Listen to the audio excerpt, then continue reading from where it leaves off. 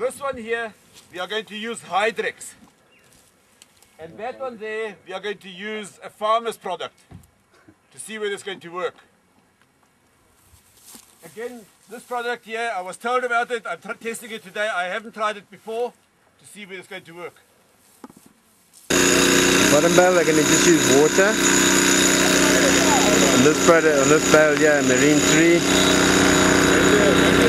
That bale, Hydrex. And that's the secret farmer's solution.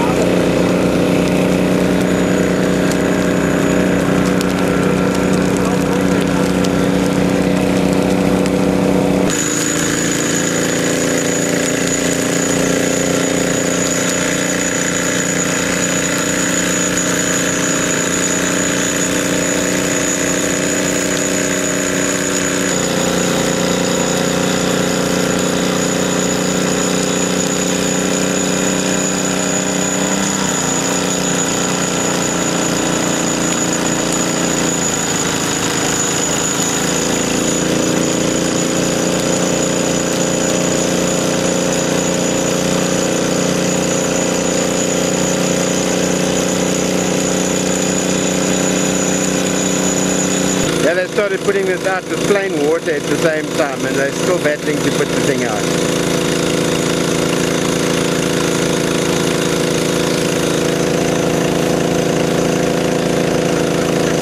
The other one with Marine is, is virtually out. Yeah, they started earlier with the Hydrex. It's out. The farmer's one is still burning. It cost us 225, 226 rand for a bottle like this. That one there cost us, uh, it was 200, 300 mils, huh? Yeah. 300 mils, it was about 20 rand for that one, for the mix in that one.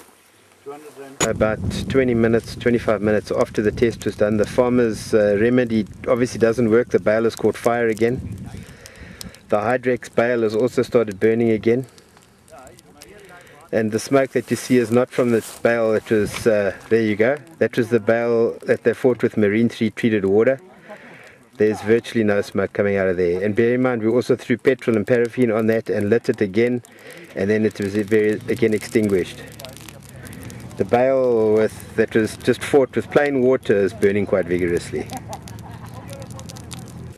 As can be seen here, the fire that was lit on the bales was quite some time ago, an hour plus ago. The one that was treated with a farmer's remedy, it's still burning.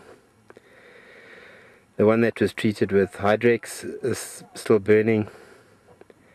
And the one treated with Marine 3 is completely dead. The one they fought just with plain water is burning quite vigorously. A view of the bale that was treated with Marine 3 water. You can see there's nothing coming from it at all.